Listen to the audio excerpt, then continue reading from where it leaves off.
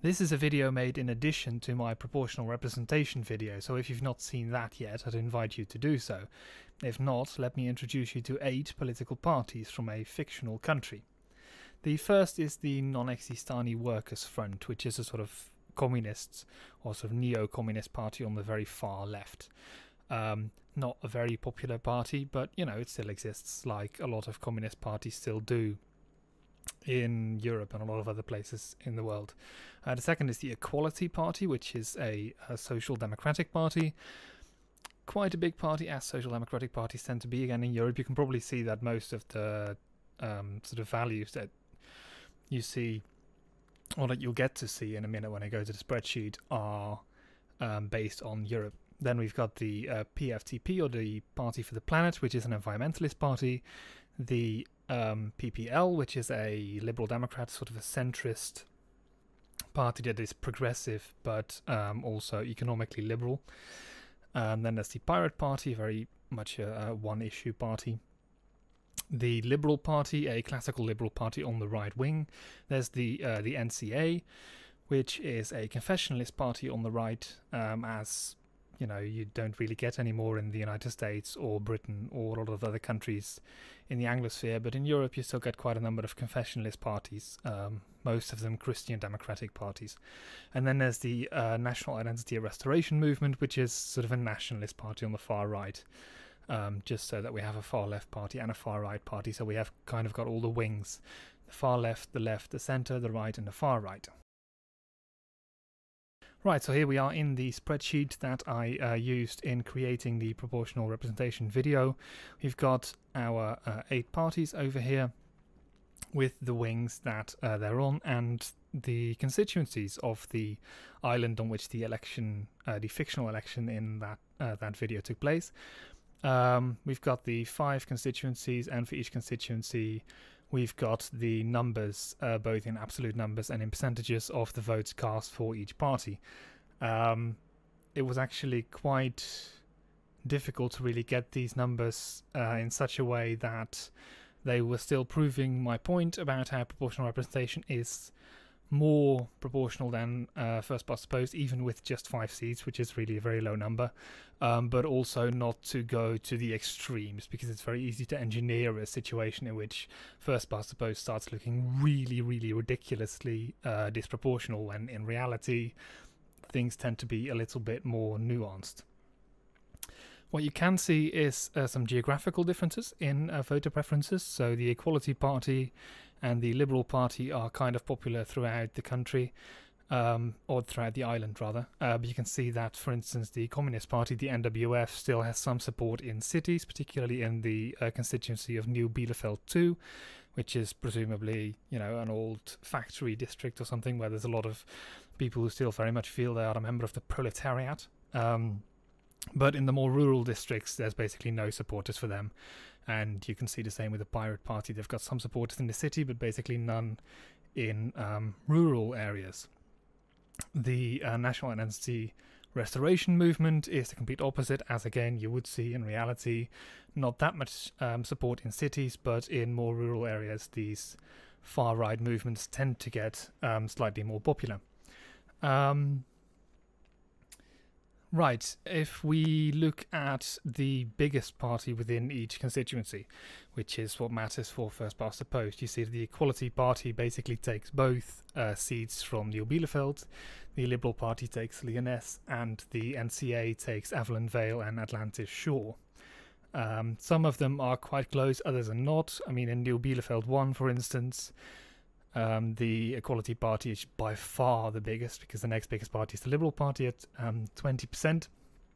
In New Bielefeld 2, it starts to already get a lot closer uh, with the PPL now at 23%, so that's, you know, still 13% off, but it's not, you know, as ridiculous as the 19% difference that there is between the largest and the second largest party in New Bielefeld 1. Um, and then in the more rural districts, it tends to get very uh, even between the larger parties. So the Liberal Party, for instance, in Lyonesse has 33% of the votes, and the Equality Party has 32% of the votes. So that's very close indeed. It just happens to go to Liberal this time, but you can imagine in the next election it might go to Equality, and then it might go back to Liberal, and you know, in a way that uh, seats, some seats, you know, swing seats, as as they're known, tend to in uh, first past the post systems. Apologies for the sound in the background. Um, the NCA gets the rural votes, which you know quite common really uh, for such parties. Although again, you see that the Equality Party is very close on their heels, one percent uh, behind, and in Avalon Vale, actually, the Liberal Party uh, can also really keep up. And the National Identity Restoration movements get movement gets uh, pretty close. Now, in the bottom of the screen, you can see that I've actually done this with 20 seats as well, 100 seats, and then some other things. And uh, for the first past the post um, results, I've just extrapolated those as if, you know, when we're talking about 20 seats, we're not talking about 20 constituencies, but we're talking about five constituencies returning four members each, and all of them would be from the largest party. It would be possible, of course, to simulate having 20 um, constituencies on the island, but that would mean that would mean that I'd have to completely, uh, you know, create a brand new table over here with all these percentages and all these numbers, which you know, quite a lot of work. Um, and you can actually see in reality that uh, first past the post actually doesn't really change when you uh, change the scale. So the British Parliament, for instance, the House of Commons, 650 seats, enormous amount of seats, really disproportional. Actually, if you look at um, what other uh, countries of a similar size have, that they often have far less than um, 650 seats, but those 650 seats are not that different from the only five seats that we see here. You know, there are two big parties and then some of the, the votes that go to another party.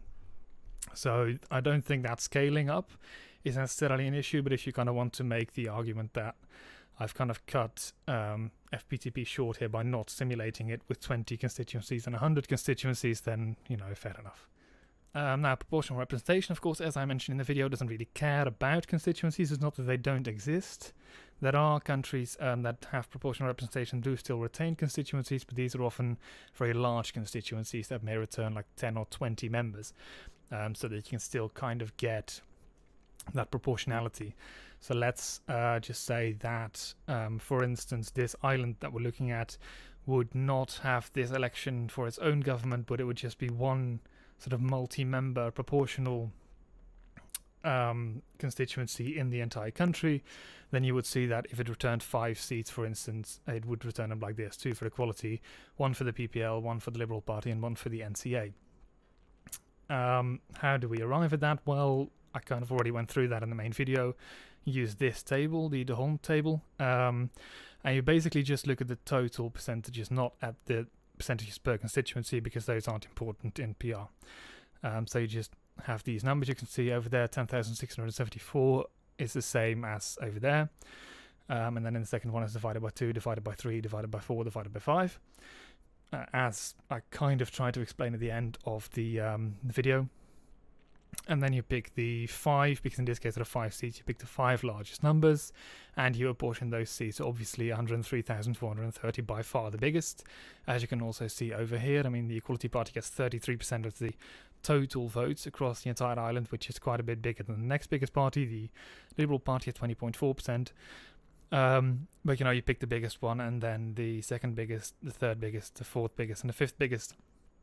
That's how you would um, end up with that. We've also got the fractional seats here. Now, fractional seats are. Uh, it's basically a matter of taking these percentages and translating them into seats. So if everything was purely uh, proportional, then the NWF would have 0.17 seats, which in reality would obviously involve cutting seats into bits and therefore also cutting people into bits. So it tends not to be a very popular way of doing things. But you know, it, it's a good um, thing to note down nonetheless because you can then compare the seats that parties actually get and the seats that they should get, and you can kind of see you know if there are any rounding errors in there, which uh, you'll actually see me do in the other tabs here as well. Now, the more seats you have, the more proportional PR gets is something that I mentioned in the main video, and we can actually see it here. Um, over here, if you look at this uh, graph over here, the seats distribution, when there are only five seats, it still doesn't really look very proportional at all. Uh, it's also represented over here in a, a, linear graph, and over here at the bottom you can see what it should have been and what it actually is. So it's you know it's better than first past the post, but it's still not very good.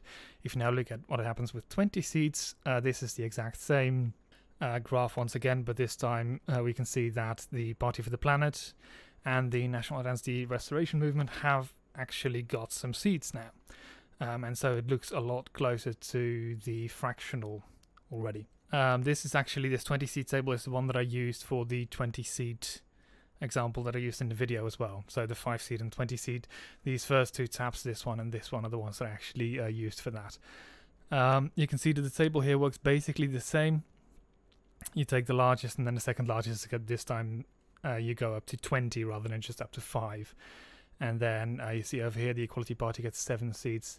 So that's still by far the largest. And you can see actually the fractional seats, they should get 6.6 and they get 7, so that's okay. Um, you also see that the NWF actually should get 0.68, but they don't get one seat. Whereas if you normally rounded that, you would round that up rather than down. So they would get one seat. And that's one of the things that the d'Hondt method, which is what I'm using here, does. It uh, slightly benefits larger parties.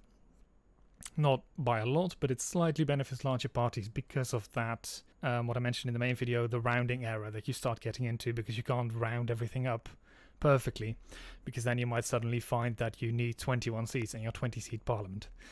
Um, so, you know, there's there's some uh, trouble there. There's some different ways of solving that. And over here with the d'Hondt method, you can see that actually some larger parties get benefited uh, or benefit from that rather a lot, whereas smaller parties uh, suffer slightly.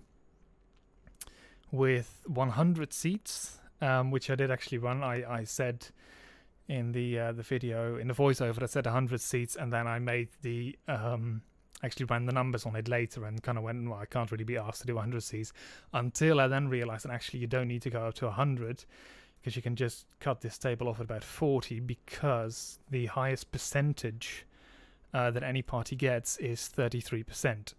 So it's unlikely that any party would actually go all the way to 100, let's be honest. So I cut it off at 40, and indeed, the largest party, which is the Equality Party, as it should be, has 34 seats in this particular example.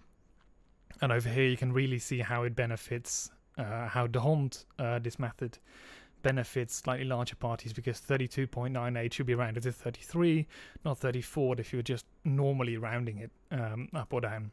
So that is the uh, the way that works. You can see again if we compare it to 20 seats over here. I've still got FPTP in there, but um, you can see that over here it's getting reasonably proportional with what it should be. Over here it is very close indeed. You know, there's almost no difference anymore. Every single party gets seats as well, even the Pirate Party, which only has 5,987 votes, which is absolutely nothing, of course, compared to Equality's 103,000, but they still get one seat. Um, although, again, you can see here with d'Hondt, they should really get 1.91, so normally you would round that up to two seats. Uh, in this case, it becomes one seat because of how this uh, table basically works. Now there is an alternative to the, D'Hondt method, which is the largest remainder method, and you can see that the table suddenly disappears here because this is a lot easier on the mathematics. What you basically do here is you take the fractional amount and the fractional seats that every party should get, um, which we already talked about, and then you round it down. You always round it down for every party. So even for, let's say, the Pirate Party again, 1.91, you'd round that down to 1 here instead of up to 2. And then you have uh, a number of seats that you can already apportion to those parties. So you can already say, for instance, uh, the PPL is going to get 12 seats. Maybe they'll get more, maybe they'll. Well, no, actually, they won't. they won't lose any, but they'll get 12 seats. You know that already, and maybe they'll get another one. And then you uh, count all these up. You then find, oh, actually, those are 95 seats, and we have 100 to apportion. So there's five seats left that you can then apportion to the largest remainder and I've done here some conditional formatting to show which five are the largest remainder and those all get one extra seat. So you'll end up with this. And so you can actually see, or should be able to see, again, if you compare this graph over here to the one on the next one, you can see that the Party for the Planet and the Pirate Party get slightly larger. So you can again see how This method is fair, slightly fairer on smaller parties, whereas the D'Hondt method slightly benefits um, larger parties. Now, I've also looked at some coalition possibilities because no single party, uh, even under uh, first past the post, gets an absolute majority. So there's going to have to be a coalition government on this island. What are the possibilities? Well, if it's FPTP, then it's you know there's two options really. It's equality and liberal, or the NCA and liberal. Um, if we look over here, with our 100 seat uh, proportional representation. If we use the D'Hondt method, there are six possibilities.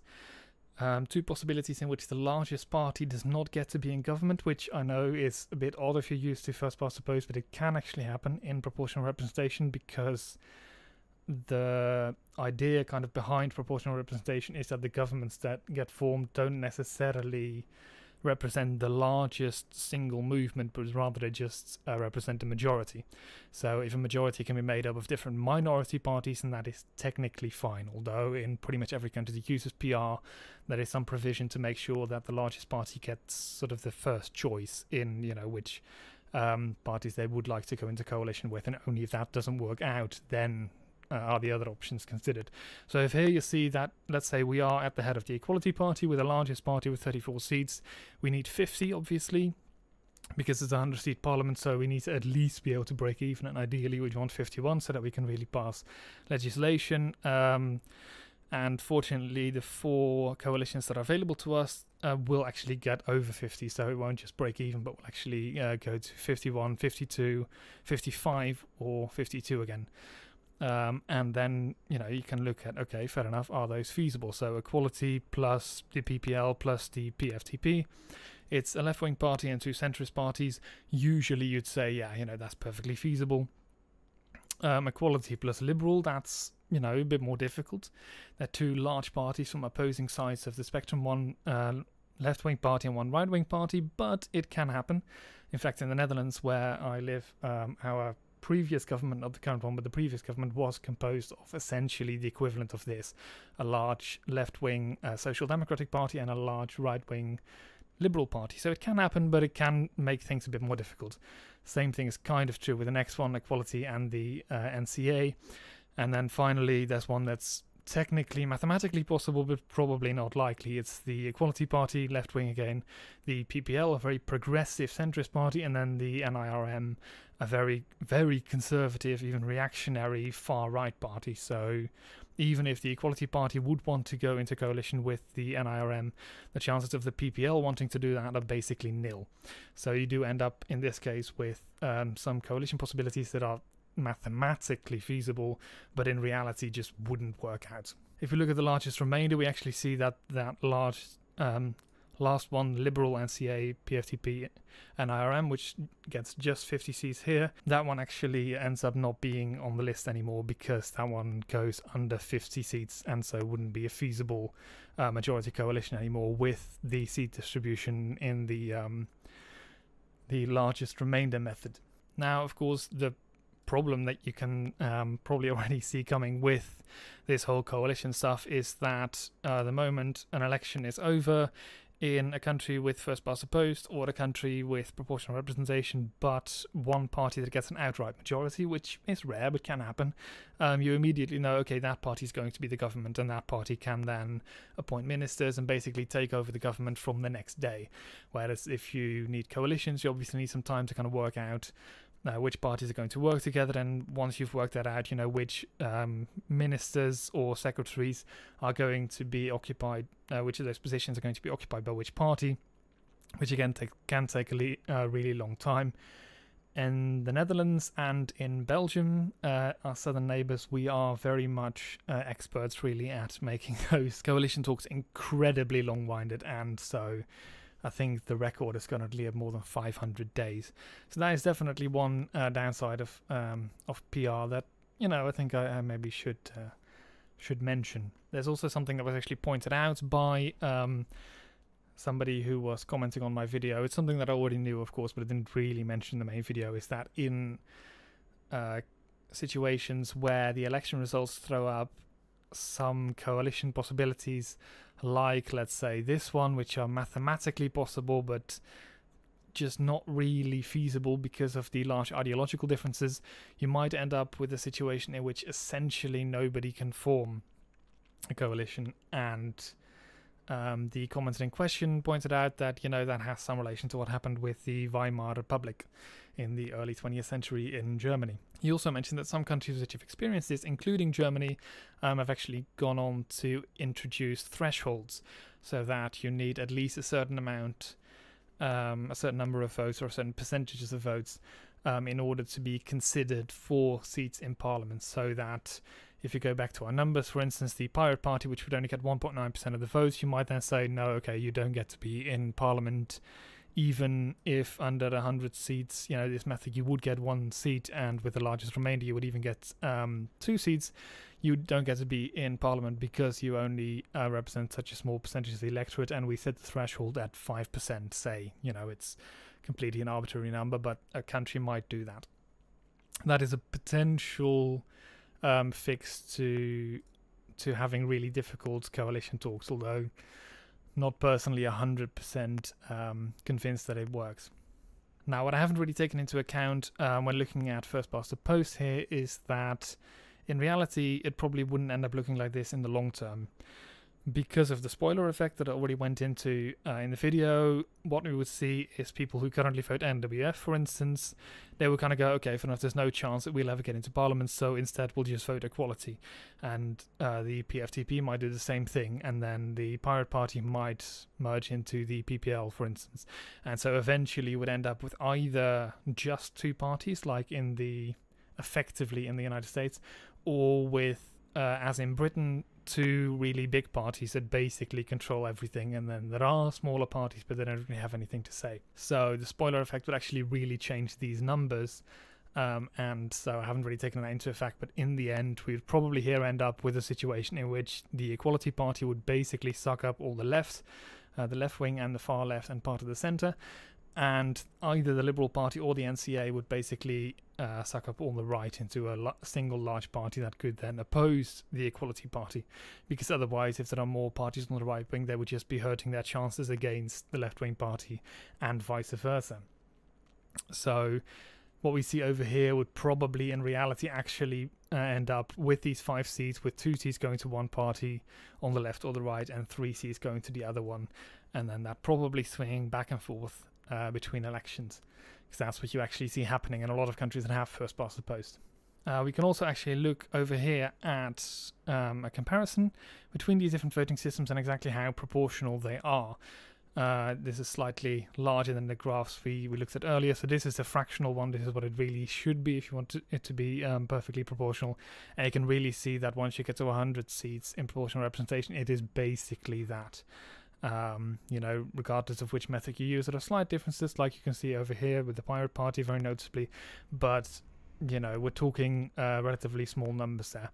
20 seats is already quite proportional, but you do see that two uh, smaller parties actually don't get seats, and then once you get just down to five seats, it gets really simplified. And once you go, once you go to first past the post, it actually shuts out even more parties. And out of these eight parties, only three of them actually get seats, and the NCA in particular ends up with, um, you know, a situation in which they should get uh, 17.71 percent of the seats and they actually get 40% of the seats. So it's mm, that really doesn't make sense but because they happen to win two constituencies um, that's what it ends up like. So i know this is kind of something that i already went over earlier in, in this uh, little video, but I did want to show that I had a sort of slightly larger, more clear graph as well, in which you can really see those differences. Now, I made an addendum to my main video in which I talked about the um, United States and how it might benefit or not from adopting PR. Um, I had a lot of comments on that, well, a few comments on that, in which people kind of talked about what their preference would be. One of those was actually somebody who said they'd written um, to their representatives um, to advocate uh, adopting the alternative vote, which is not quite PR, but it's a, a related system. And um, how, of course, that hadn't happened because, as we all know, the United States still has first past the post voting. And I think you can really see in this graph why that's unlikely to happen because I mean over here with first past the post we've still got three parties, but you know uh, in reality we'd have two parties. Let's just stick with these three parties. If you are the representative of somebody who writes to you saying, "Hey, we'd like PR," you are going to be of either the Equality Party, the Liberal Party, or the NCA. And regardless of which of those three parties you're from, you're likely to actually lose seats if you switch to PR. It's not so bad for equality, but if you're um, a member of the NCA, for instance, you can basically just go, okay, the number of seats we get will be halved uh, the moment we switch to PR. So there's really no incentive whatsoever for big established parties in a first past the post system to switch to PR. Uh, even if their constituents might want them to, they'd really be shooting themselves in the foot, which is why it's so difficult to do. And countries that have done it have often done it through a referendum, in which um, okay, should obviously completely shut out the established politics and just let the people have a vote. Um, then it can work.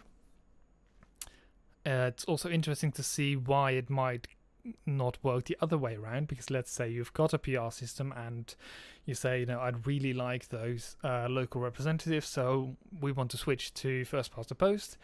That's also going to be really difficult because uh, let's just take this, uh, the D'Hondt method at 100 seats. As an example, yes, you're going to retain the NCA, the Liberal Party, and the Equality Party, so the majority of Parliament is possibly going to agree with it. Um, but there are still a lot of smaller parties that don't agree with it because they'd basically basically be completely shut out.